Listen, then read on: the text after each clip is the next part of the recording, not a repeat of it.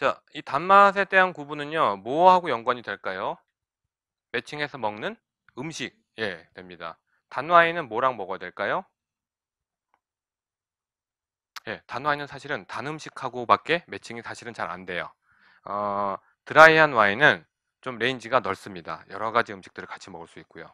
우리나라에서 제가 단 와인 얘기한 거는 한 medium 정도 되는 와인들이에요. 아주 달지도 않고 아주 드라이하지도 않고 이런 것들은 우리나라 때 그 말씀드렸던 고추장이나 간장 베이스로 된 음식들하고도 아주 잘 감칠맛이 나는 요리가 되죠. 어, 우리가 오미라고 얘기하잖아요. 오미자 할 때 오미. 어, 보통 우리나라에서는 단맛, 짠맛, 쓴맛, 신맛.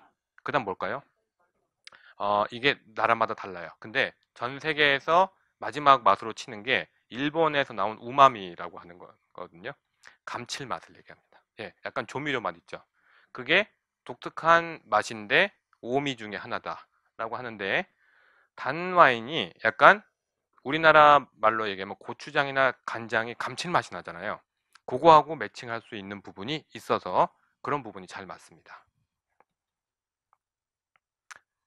자, 와인의 분류, 단맛에 따른 분류는요, 드라이한 거, 미디움, 그 다음에 스윗한 거, 요 세 가지 있다는 거 구분하시고요. 가능하면, 어, 각 나라말로, 나라별로 용어를 좀 알아놓으시면 더 좋겠습니다. 어, 여러분들이 나중에 다른 시험을 보실 거면요, 요거는 거의 꼭 나와요. 드라이가 그, 저, 불어로는 색이고, 이태리어는 세콘데요. 자, 여기 독일어가 안 나와 있는데요. 독일어만 조금 단어가 다르게 생겼어요. 그래서 그, 그 얘기할 때는 시험에 항상 나오는 건데요. 여러분한테까지 나오지는 않을 테니까요. 이 정도만 알아놓으시면 좋겠습니다.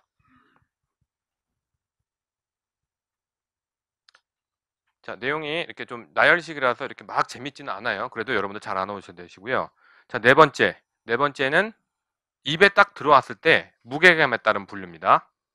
자, 무게감도 세 가지로 나눠져요. 첫 번째, light body. 두 번째, medium body. 세 번째, full body. no body 아니에요. full body입니다. 예. 어, light body는요, 입에 딱 들어왔을 때, 어, 되게 가벼운 와인이다. 어, 느 정도냐면, 물 정도 느껴진다. 어, 입 안에서 비중이 느껴질 때 물 정도 되는 것 같다. 그러면 그냥 light body라고 합니다. 대부분의 화이트 와인하고요.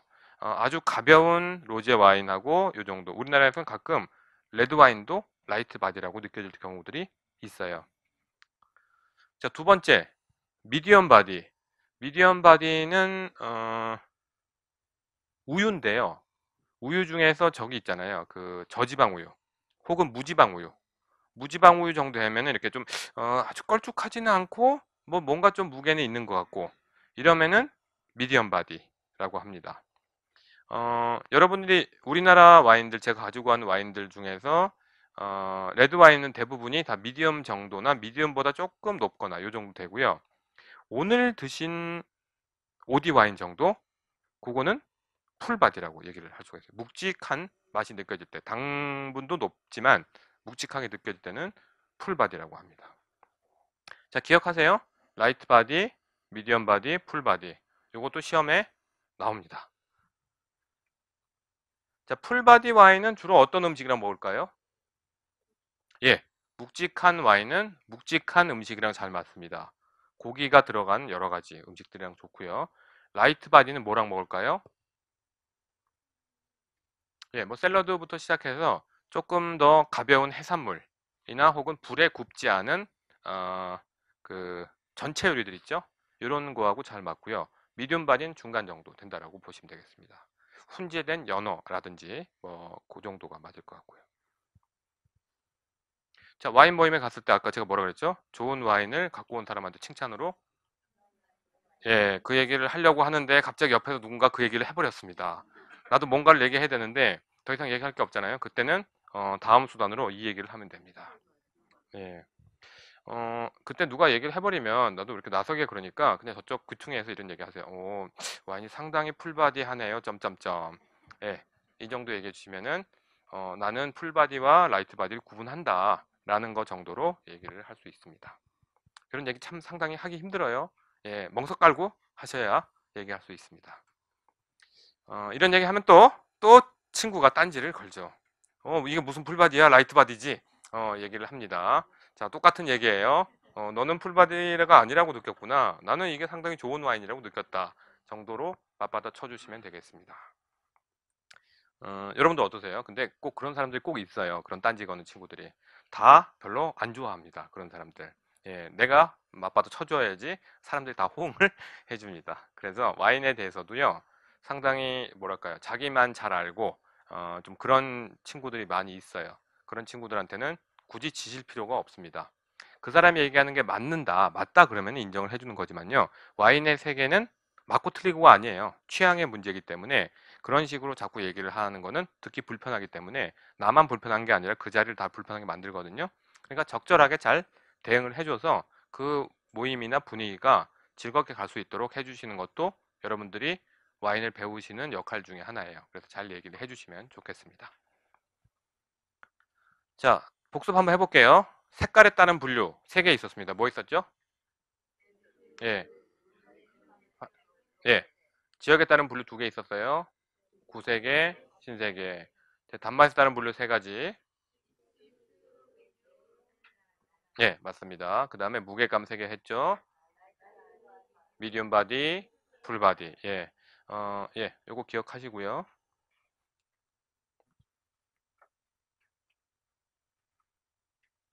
자, 그 다음은 다섯 번째, 제조법에 따른 분류인데요. 어, 요거는 모르시는 용어들이 좀 나올 수 있으니까 어, 좀 설명을 자세하게 드리겠습니다. 자, 와인을 만들 때 우리가 흔히 먹는 일반 와인들은요. 어, 만들 때 나오는 탄산, 아까 제가 말씀드렸죠. 당분하고 효모하고 결합했더니 알코올하고 이산화탄소하고 열이 나옵니다. 자, 이산화탄소를 뚜껑을 잘 닫아 놓으면요. 와인 안에 그냥 들어가 있게 되고요. 뚜껑을 열어놓고 어, 공기를 날려버리면 이산화탄소가 날아가 버립니다. 자, 날아가 버리면 와인이 잔잔하게 되죠. 잔잔하게 되니까 일반 와인은 still 와인이라고 합니다. 예, 그냥 우리가 흔히 얘기하는 와인들은 그냥 전부 다 다 still 와인이에요. 원래 와인을 만들 때 원래 탄산이 나와요. 탄산을 따로 집어넣은 게 아닙니다. 탄산이 나오는데 그 탄산을 와인 안에 머물러 있게 하려면 굉장히 압력을 잘 견디는 탱크에서 발효를 해야 돼요. 그 탱크를 만들기 전까지는 그렇게 할 수가 없었기 때문에 전부 다 어, 탄산 날려버리고 어, 그냥 일반적인 still 와인으로 먹었습니다. 제가 돔페리뇽 수사에 대해서 얘기했었죠. 예, 그러니까 소갈머리 없고 주변머리만 있는 예, 수사였는데 어, 그 사람이 연구를 할때 어, 이상하다. 왜 와인이 자꾸 발효할 때 자꾸 터질까? 어, 그때는 무슨 과학적인 그런 게 베이스가 없었기 때문에 뭐 이렇게 압력에서 탄산이 나와서 탄산이 압력을 줘서 탱크를 폭파시킨다 이런 걸 몰랐기 때문에 연구를 많이 했었어요. 그래서 아, 뚜껑을 잘 닫아 놓으면은 터지고 뚜껑을 조금 열어 놓으면은 어, 안 터지는구나. 그래서 어, 뚜껑을 잘 닫아서 터지지 않게 와인 안에다가 그걸 넣는 방법이 없을까를 연구한 사람이 돔페리뇽이었어요. 그래서 그, 그 돔페리뇽의 연구부터 시작해서 어, 연구를 굉장히 발전에 발전을 거듭해서 드디어 탄산을 와인 안에 넣는 방법을 알아냈습니다. 그래서 그 탄산을 와인 안에 넣는 와인을 sparkling 와인이라고 합니다. 왜? 계속 뭐가 터지기 때문에. 예. 거품이 있는 와인은 sparkling 와인이라고 하죠. 이 정도만 구분하셔도 예, 되실 정도로 이거 만드는 방법의 차이니까요. 자, 여기서 하나 더 나오는 건 덤입니다. 여러분들이 사실은 마실 기회는 잘 없는데요. 알아놓으시면 좋겠습니다. 세 번째는요. fortified 와인이라 그래서 알코올을 나중에 좀 더 추가한 와인들이에요. 자, 알코올이 굉장히 음료나 어떤 그런 부분에서 안정화를 많이 해줘요. 그래서 알코올을 나중에 첨가를 더 하면은 그 와인이 굉장히 안정적으로 숙성이 잘 됩니다. 그래서 그걸 발견한 게 영국 사람들이었는데 어떤 일이 있었냐면요. 어, 미국 아니 미국이래 죄송합니다. 영국하고 프랑스하고 오랫동안 싸웠죠. 예, 한 100년 싸웠어요. 예, 100년 싸웠는데 그거를 그 예, 100년 전쟁이라고 합니다. 그 얘기를 하려 했던 건 아니고 예, 그 싸운 이유가 뭐냐? 어, 영국의 이제 그 저기 프랑스의 그 영국의 그 공주가 프랑스로 시집을 갔습니다. 시집을 갔는데 자기네 땅도 갖고 가고 어, 결혼하면서 땅도 좀 많이 받았어요. 어, 근데 이 사람이 이혼을 해버렸어요. 이혼하고 어디 갔느냐? 어, 영국 사람을 또 결혼을 해버렸어요. 근데 그 땅은 다 갖고 가버렸습니다. 그러니까 여기가 다 영국 땅이 돼버렸어요. 어, 그러다 보니까 영국의 프랑스 영국 사람들은 보르도 와인을 세금 안 내고 먹고 프랑스 사람들은 보르도 와인을 세금을 내고 먹는 예, 그런 이상한 일이 발생을 했죠. 어, 그래서 100년 동안 싸우다가 이걸 다시 뺏어온 게 100년 전쟁이에요. 자, 그 100년 전쟁을 있게 한 그 저 영국 사람이 엘리노아 왕비라고 하는데요. 그 전 남편이 왕이고 그 다음에 이제 재혼한 남편도 왕이고요. 큰 아들도 왕이고 작은 아들도 왕이었어요. 그러니까 자기하고 연관된 모든 사람이 다 왕이었는데 그 십자군 전쟁 같은 데 보시면 리처드라고 사자왕이라고 있잖아요. 그게 큰 아들이고요. 권리 청원이라고 막 이렇게 막 그 저 데모에서 얻어낸 그 왕이 둘째 아들 존 왕이었어요. 어, 아주 유명한 사람인데요. 어, 그래서 100년을 전쟁하고 나서 보르도를 뺏어간 게 프랑스의 큰 적이었다고 하는데 자, 100년 동안 프랑스 사람들이 어, 그 영국이나 그 프랑스에서 이제 와인을 막 그 사 먹고 막 이러다가 전쟁이 끝나고 나니까 영국 사람들이 오히려 이제 프랑스 와인을 못 사 먹게 됐는데 그게 그렇게 배가 아팠던 게요. 영국 사람들이 참 와인을 좋아합니다. 그리고 고급 와인들을 많이 사들여요. 지금도 어, 와인 값에 아주 제일 영향을 미치는 사람들이 영국 상인들이에요. 그 프랑스의 와인이 나왔다. 좀 좋다 싶으면 영국 사람들이 달려들어서 다 사놓습니다. 그리고 값을 올려갖고 전국에다 팔아먹는 사람들이 영국 사람들이에요. 자, 전쟁이 끝난 다음에 프랑스 와인을 못 먹게 되니까 이 사람들이 와인을 먹고는 싶은데 도저히 견딜 수가 없어서 어디다 얘기했냐면요. 여기 보면은 스페인이 있죠. 스페인 옆에 포르투갈이 있습니다. 어, 그래서 포르투갈에다가 야 우리가 프랑스 와인 지금 못 사 먹고 있으니까 너희들이 와인 좀 보내라 라고 해서 보냈어요. 뭘로 보낼까요? 비행기로 보낼까요? 예, 배로 보내죠. 배는 막 와인통이 일로 굴러갔다가 절로 굴러갔다가 막 이렇습니다. 와인이 별로 잘 만들지도 않았는데 일로 굴러가고 절로 굴러가니까 여기쯤 와서는 와인이 다 거의 폭삭 폭망한 그런 와인들이 왔어요. 아, 이건 도저히 못 마시겠다. 너희들 와인 갖고 올 때 우리가 시킨 대로 좀 해라. 라고 해서 뭐라고 했냐면, 배에다 씻기 전에 알코올을 좀 더 넣어라.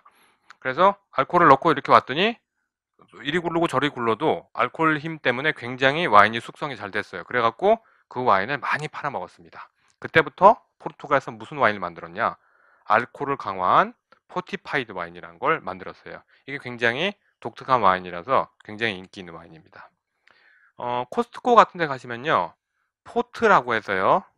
어, 포르투갈 와인들이 있는데 fortified 와인이라는 게 있습니다. 아주 안 비싸요. 저렴한 건 25,000원에서 좀 비싼 건 10만 원 정도인데요. 이 와인들은 발효를 하는 중간이나 발효를 다 마친 다음에 알코올을 들어 붓습니다. 알코올을 들이부으면요. 효모가 죽어버리죠. 알코올을 바, 그 발효하는 중에 죽어버렸으면 당분이 남아 있었기 때문에 단 와인이 되고요.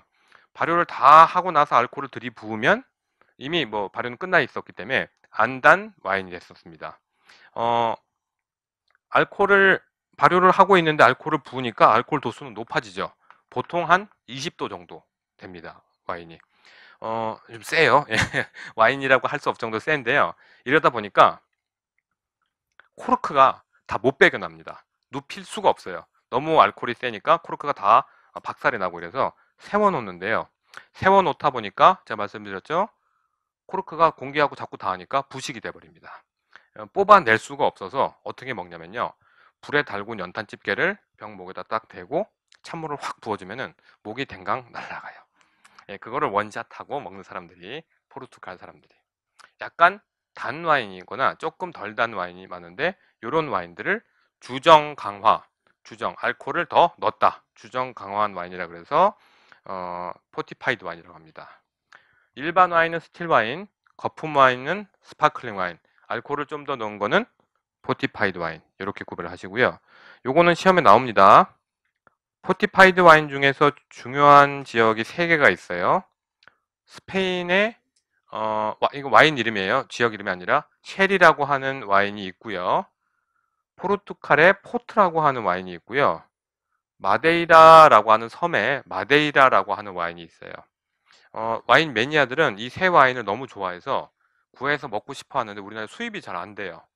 어, 수입사 한두 군데서 조금 조금씩 수입하기 때문에 어, 무슨 스페인 와인 전시회 같은 데 가면 개떼같이 달려들어서 쉐리를 먹어보는 것이 예, 경험이라서 많이 먹습니다. 굉장히 독특한 와인이에요. 약간 꿀맛도 나고 이러는데 어, 빛이 바래고 좀 산화된 그런 맛을 좋아하는 그런 사람들이 좀 있는데요. 어, 약간 재미로 좀 말씀드릴게요. 스페인의 sherry라고 하는 와인은 만드는 방식이 되게 독특합니다. 보통은 와인을 이렇게 그 햇빛이 안 받는 지하에다 저장을 하잖아요. 요거는 그 말씀드린 대로 발효를 하다가 알코올을 확 들이부어서 발효를 멈추게 한 다음에 어디다 저장을 하냐면요. 햇빛 쨍쨍 쬐는 밖에다가 오크통에 넣어서 어, 보관을 해요. 햇빛이 쨍쨍 쬐면은 무슨 일이 생기냐? 다 증발을 많이 하죠. 증발도 하는 데다가 곰팡이가 핍니다. 와인에. 어, 증발을 하고 나니까 공기 접촉이 넓어져서 곰팡이가 펴요. 곰팡이가 흰 곰팡이가 핍니다. 꽃처럼 이렇게 피는데요. 어, 플로르라고 하는데 곰팡이가 아예 막을 형성을 해서 어, 와인 위에 두껍게 곰팡이가 피게 돼요. 그러면 그 곰팡이의 맛이 와인으로 배게 됩니다. 약간 묘한 맛이 나요. 뭐 썩은 것도 아니고 약간 그런 맛이 납니다. 예, 그런 와인들을 통으로 막 이렇게 그 층층으로 쌓아놔요. 층층으로 쌓아놓는데 요걸 다 뚫어서 연결해 놓습니다. 자 와인을 나중에 야 우리 우리 와인 좀 갖다 팔아야겠다 어디서 빼냐 밑에서 빼요 쭉 빼잖아요 그럼 이쪽에 와인들이 또 내려옵니다 이거를 솔레라 시스템이라고 해요 그래서 와인을 몇 단으로 쌓아놓고 밑에서 그러면 옛날 거 요즘 거 다 섞여 버립니다 그래서 어, 팔아먹고 팔아먹고 이런 식으로 어, 또 새로 만들어 넣어놓고 아주 독특한 시스템이라서 스페인의 쉐리는 좀 그런 맛이 나요 약간 와인이 산화된 듯한 그런 맛인데 한 번 빠지면 헤어날 수가 없습니다. 예, 또 비싸요. 예. 그리고 포르투갈의 포트는 조금 상대적으로 저렴해요. 많이 들어와 있어요. 우리나라 코스코에도 있기 때문에 한번 드셔보실 수 있으면 드셔봐도 좋겠는 게요. 이 와인은 따고 바로 다 안 먹어도 괜찮아요. 뚜껑이 아까 얘기한 대로 코르크로 돼 있는 거는 목을 쳐서 쳐야 되는데 보통은 위스키 뚜껑이라고 하는 것처럼 플라스틱 캡이 있고 코르크가 이렇게 돼 있어요. 그럼 땄다가 좀 마시고 다시 넣어놓고 어, 좀 세기 때문에 어, 그 스트레이트 잔 있죠 조그만 거에다 한 반 정도 드시고 주무시면 잠이 잘 와요 예, 저도 수면제로 잘 쓰고 내일 아침 내가 좀 일찍 일어나고 뭘 해야 되는데 잠이 잘 안 온다 그러면 한 잔 마시면 거의 직방입니다 예, 어, 드셔보시면 맛있어요 와인의 세계가 이런 것도 있구나 라고 하는데 디저트로도 먹지만 고기랑 이런 거랑 잘 포르투갈 사람들은 잘 먹는데요 어, 드셔보시면 굉장히 좋은 경험이 될 것 같습니다. 우리 수업 중에는 안 나와요. 왜? 우리나라에서는 아, 주정 강화 와인을 안 만들기 때문에 그렇습니다. 오늘 드신 오디 와인이 약간의 주정을 더 넣었어요. 굳이 얘기하자면 이것도 주정 강화 와인이라고 얘기할 수는 있는데 아주 일부만 넣었기 때문에 뭐 주정 강화 와인의 특성은 아니라서 그렇습니다. 자, 와인의 분류 양조법은 첫 번째 일반 와인은 still 와인, 두 번째 탄산 와인은 sparkling 와인, 세 번째 주정을 강화한 것은 주정 강화 와인이라고 합니다. 시험에 나오는 거 뭐? 스페인의 sherry, 포르투갈의 port, 마데이라의 마데이라 정도 되겠습니다.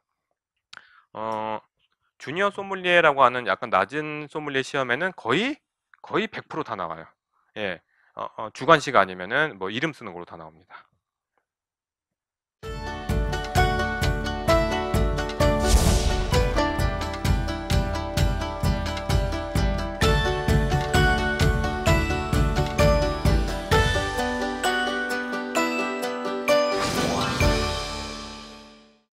자, 오늘의 마지막 분류입니다. 여러분들 오랫동안 예, 잘 오셨어요. 어, 마지막 분류는 자, 용도에 따른 분류입니다. 식사를 할 때 메인 음식을 먹기 전에 나오느냐, 메인 음식을 먹은 후에 나오느냐, 메인 음식과 같이 나오느냐, 이런 차이라고 보시면 되세요. 자, 제가 요거는 자세하게 써놨는데 요거 보시고 잘 이해하시라고 썼습니다. 자, 메인 음식 전에 먹는다. 그러니까 식전 와인이다라고 하는 거는 아페리티프라고 하거든요. 보통은 그 식전에 그 메인 요리를 주로 이제 고기를 먹기 때문에 식전 요리들은 샐러드나 혹은 생선이나 해산물들을 주로 먹습니다. 그것도 불에 데치지 않은 거. 어, 불을 쓰지 않은 요리, 차가운 요리들을 해서 cold dish를 할 때 그 아페리티프라고 얘기를 해요. 어, 자, 식전 와인 때는 사실은 차가운 음식이기 때문에 열을 막 내주는 레드 와인은 잘 안 먹고요. 어, 보통은 찬 음식에다가 매칭을 하기 위해서 화이트 와인을 주로 많이 먹습니다. 화이트 와인 아니면은 sparkling 와인 정도가 어, 식전 와인에 가장 많이 쓰고요. 어, 중요한 거 하나, 어, 이때는 반드시 산도가 높은 신맛이 나는 와인들을 써요. 왜? 예, 맞습니다. 그 신맛을 먹어야 어, 음식이 이제 들어간다는 신호를 줘서 음식을 많이 먹어야지라고 하는 신호를 신맛이 위장에다 주게 되기 때문에 신와인을 먼저 먹어요. 어, 그리고 신와인이기 때문에 절대 단 와인이 아닙니다. 예, 신맛하고 당도하고는 거의 좀 반비례해서 움직여요. 산도가 높고 실다 그러면은 당도는 떨어지고요. 당도가 많고 그렇다 신맛이 떨어집니다. 주로 그렇게 되기 때문에 이때는 이렇게 먹고요. 어, 문제는 주로 어떻게 나오냐면요. 다음 중 어, 용도가 다른 와인 중 하나는 이렇게 하면은 뭐 산도가 높은 거, 뭐 신맛은 위, 그 신맛이 높은 와인, 그 다음에 스위트 와인 뭐 이런 식으로 나옵니다. 그럼 그게 다르다라고 보시면 되세요. 네. 아, 뭐 나중에 말씀드릴 거지만요. sweet한 거는 당분이 딱 단 게 들어가면요. 이제 식사 끝이라는 신호를 위장에 주게 돼요. 어, 그래서 디저트는 항상 나중에 먹게 되죠. 우리나라 사람들 참 이상한 사람들이라서 그 주로 디저트로 뭘 먹죠? 과일 먹죠. 과일은 십니다. 예, 외국 사람 보면 상당히 이해가 안 되는 신 거 또 먹고 또 밥 먹는다 이렇게 이해를 하는데 우리나라 사람들은 이제 그 후식으로 과일을 많이 먹잖아요. 외국에서는 후식으로 과일을 거의 안 먹어요. 어, 과일을 어, 달게 조리해서 만든 케이크나 이런 걸 먹게 되는데 이상하게 우리나라 사람들은 그렇게 먹어도 어, 아 음식 잘 먹었다라고 신호가 되는 게 어, 그런 체질이 돼서 아마 그렇게 되는 것 같아요. 외국에서는 이제 시, 그 과실이나 이런 거는 식전에 주로 먹습니다. 자, main dish하고 먹는 와인들은요, 테이블 와인이라고 얘기합니다. 아, 보통 이제 레스토랑에 가시거나 이러면 테이블 와인 그러면은 그날의 어떤 글라스 와인 정도를 얘기하는 경우도 많은데요. 보통의 용어는 테이블 와인은 그날의 주식 와인이라고 얘기를 하실 수 있어요. 어, 프랑스는요, 굉장히 코스가 많습니다. 어, 보통 이제 예전에 귀족들이 그 일요일 날 점심을 먹는 거를 산정해서 코스를 만들었어요. 이것도 먹고 저것도 먹고 이것도 먹고 싶은데 저거를 먹은다면 이걸 못 먹을 수가 안 되니까 이것도 먹고 저것도 먹으려고 차례대로 조금 조금씩 내놓은 게그 코스예요. 원래는 이태리에서 시작을 했다가 프랑스로 넘어왔다고 하는데 보통은 7코스나 8코스를 먹습니다. 우리나라에 있는 프랑스 식당들은요 7코스나 8코스를 하면은 와서 먹을 수 있는 사람이 없기 때문에 보통은 5, 그 5코스 정도로 줄여놨어요 그래도 제대로 먹으려면 7코스를 먹어야 되는데 프랑스 사람들은 그 7코스에 전부 다 전부 다 와인을 매칭해서 먹습니다 와인을 7잔 이상 먹어야 돼요 어, 처음에 그 보통 이제 레스토랑 같은 데 안 모이고 프랑스 사람들은 집에 초대하는 거를 참 귀한 손님을 초대하는 걸로 하거든요. 그럼 오자마자 호스트, 그러니까 집 남자가 먼저 꼬냑 같은 걸 먼저 한 잔을 줍니다. 이제 반갑다고. 그다 그거나 혹은 sparkling 와인 주면은 그걸 먹고 담소를 나누다가 어 부엌에서 식당에서 이제 그 안주인이 어, 식사가 준비됐습니다. 이러면은 그때 다 들어가서 그때 또 건배를 한번 하고 그 다음에 어, 식전 샐러드나 이런 게 나오면 거기에 맞는 와인을 먹고 그 다음에 아페리티프가 나오면 거기에 맞는 또 와인을 먹고요. 그 다음에 코스가 3개가 돼 있어요 메인이. 어, 먼저 소고기를 먹고 닭고기를 먹고 그 다음에 돼지고기를 먹고 그 세 가지를 다 먹습니다. 예, 거기다 다 맞춰서 와인을 먹은 다음에 디저트 먹는다고 또 와인을 먹어요 그리고 다 먹고 나서 거실로 옮긴 다음에 또 먹습니다. 예, 그러니까 와인을 보통 7코스에는 9잔 이상씩 먹게 되는데요. 먹고 나면은 이제 저녁 먹을 시간 된다고 하더라고요. 자 그래서요. 메인 와인은 보통 우리는 그렇게 못 먹죠. 보통은 다 4코스 정도로 먹는데요. 그러다 보니까 식전 와인 하나에 테이블 와인 하나 정도 되면은 그냥 잘 먹었다고 얘기하고요. 디저트 와인까지 챙겨 먹는 사람은 사실은 잘 없습니다. 그러니까 여러분들이 집에서 와인 모임을 하실 때도요. 조금 건하게 하신다라고 하면은 식전으로 화이트 하나, 그 다음에 메인 요리로 레드 와인 하나, 요 정도가 됩니다.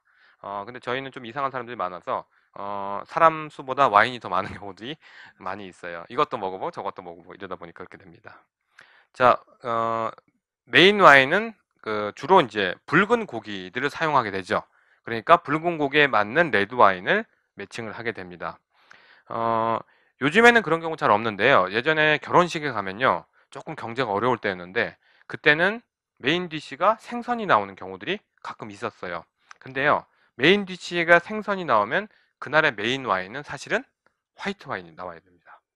어, 소믈리에들이 결혼하는 경우 정도야 화이트 와인을 내는 경우는 있었는데 굳이 호텔에서 막 그런 것까지 고려하지는 않기 때문에 그런 그런 생선이 나와도 레드 와인을 많이 매칭해서는 먹었어요. 굳이 그걸 따지는 사람은 없었기 때문에. 그렇지만 여러분들이 제대로 드시려면은 메인 요리가 생선이 나왔다. 그러면은 화이트 와인을 매칭해야 되는 게 원래는 맞습니다. 자, 우리나라 요리들은 어떻죠? 코스별로 안 나오죠. 그냥 한 상 차려서 잘 먹기 때문에 어, 그 와인도 그냥 한꺼번에 풀어서 먹는 경우들이 많고요.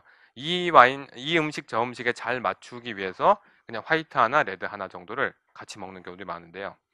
우리나라도 요즘에는 코스 요리들이 좀 많이 생겼어요. 퓨전식으로 하면요. 처음에는 호박죽 나오고 뭐 호박죽이나 아니면 뭐 흑임자죽 이런 거 나오고 두 번째는 샐러드인데 뭐 이렇게 잣 들어간 샐러드 이런 게 나오고요. 세 번째는 뭐 이렇게 부침개나 전 잡채 나오고 네 번째는 닭 요리, 다섯 번째 돼지 요리 뭐 이런 식으로 나오는데 그렇다면은 우리나라 와인들도 조금 매칭을 해서 할 수가 있습니다. 어, 메인 요리까지 말씀드렸고 마지막에 디저트 와인들은요.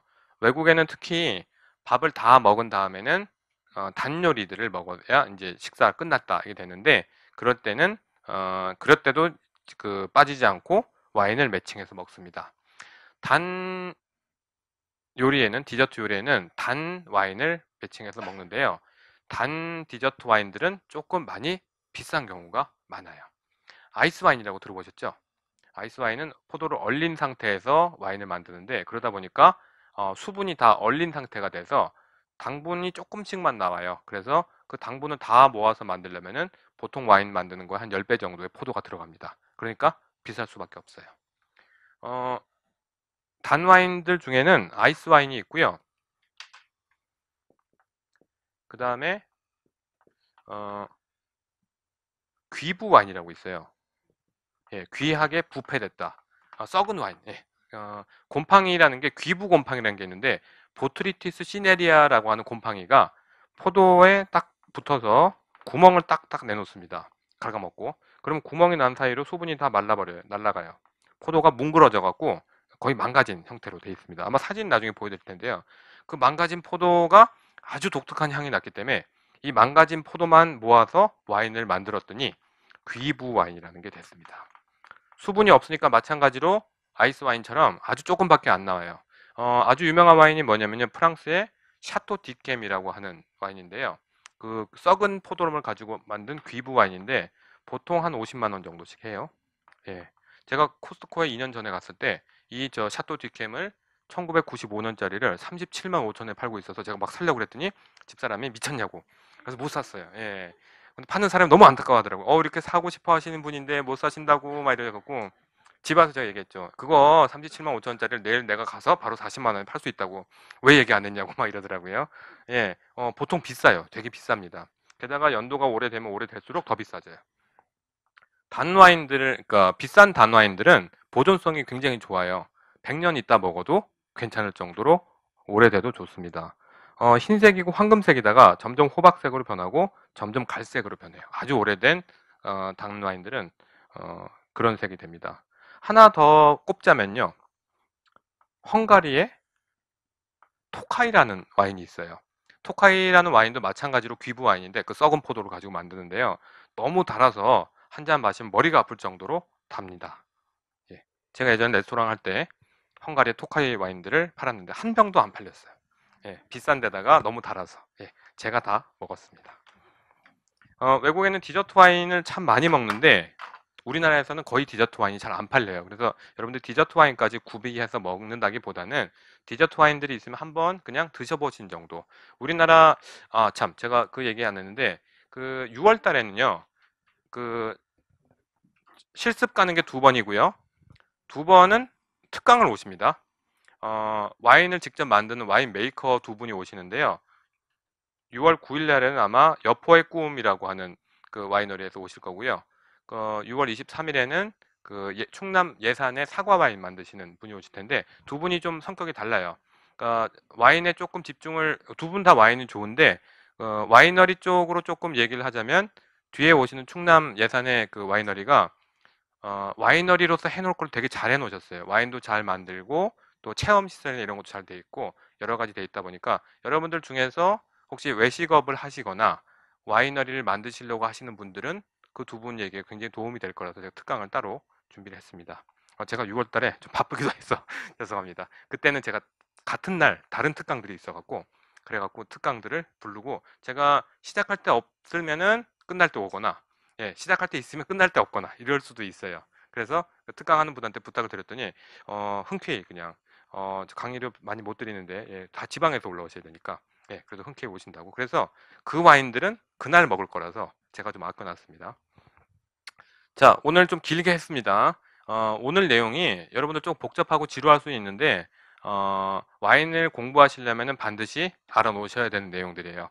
음료의 분류부터 시작해서 와인의 분류 오늘 좀 외울 게 많은데 오늘 내용은 반드시 한번 복기를 하셔갖고요. 다음 주에 제가 와서 물어봤을 때 어, 뭐 와인의 용도에 따른 분류 세 가지 뭐죠? 이러면은 바로바로 나올 수 있도록 한번 뒤새김 하시면 좋겠습니다. 자, 오늘 수업은 여기까지인데요. 자, 한 가지 더 말씀드릴게요.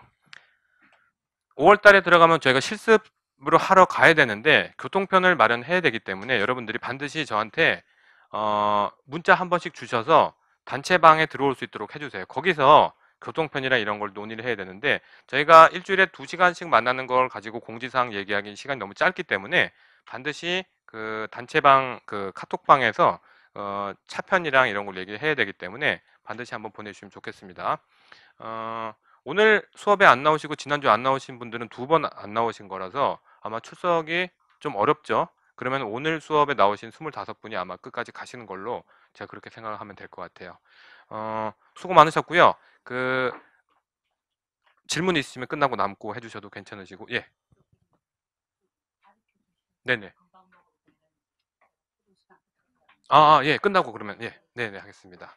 자, 오늘 수업 여기까지입니다. 정리해 주시고 마치도록 하겠습니다. 감사합니다.